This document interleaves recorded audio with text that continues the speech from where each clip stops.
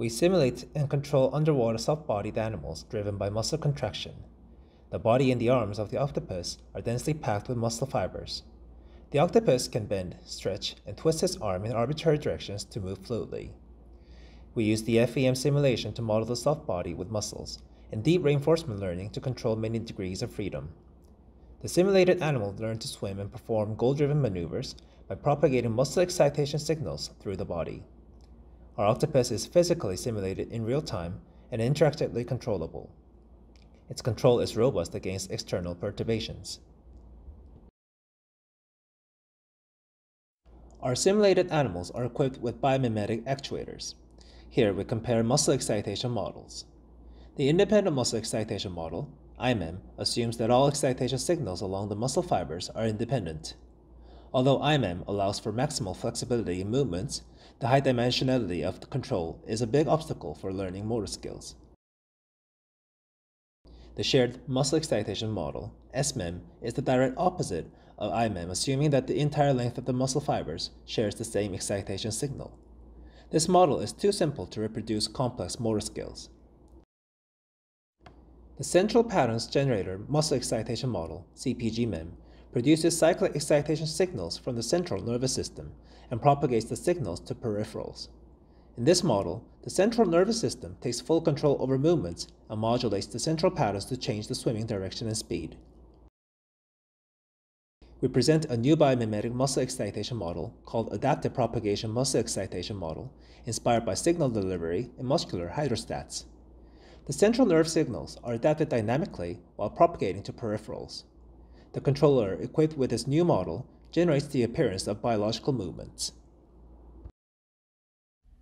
There are two longitudinal muscles in each arm.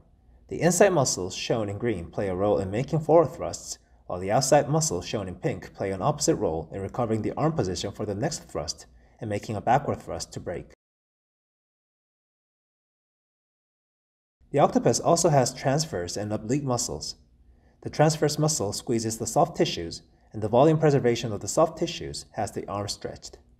The oblique muscle twists the arm.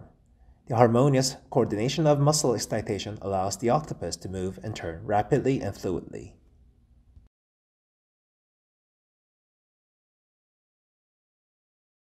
The starfish is an imaginary soft-bodied animal having four legs that spread out symmetrically.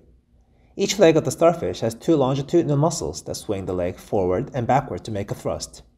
The dynamics system of the starfish has 4,600 force actuators and 1,200 degrees of freedom.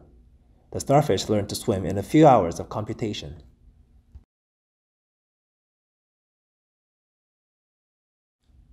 The cuttlefish has a volumetric body with 10 short arms and thin fins on both sides of the body. It has two longitudinal contractile muscles in each arm and a bending muscle in each fin. It can move slowly forward or backward by fluttering the fins. The arms can make additional thrust to move faster. The angle of attack shows the hydrodynamic responses on the body surface. The arm swing and fin fluttering generate thrust and drag forces depending on the angle of attack.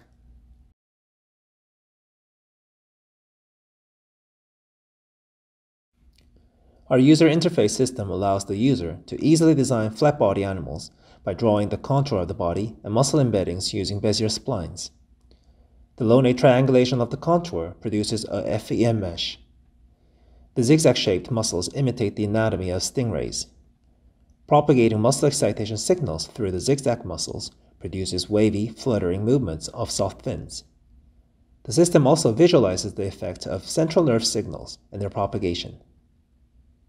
We also created a variety of imagery thin-shelled animals actuated by various muscles in their embedding.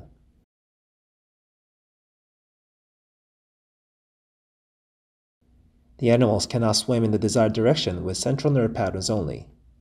Deep reinforcement learning stabilizes their movements and makes them controllable.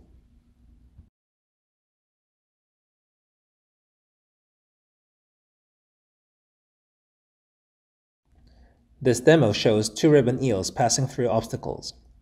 Although their controller was learned in the free space, the ribbon eels can cope with the cramped collision-prone environment.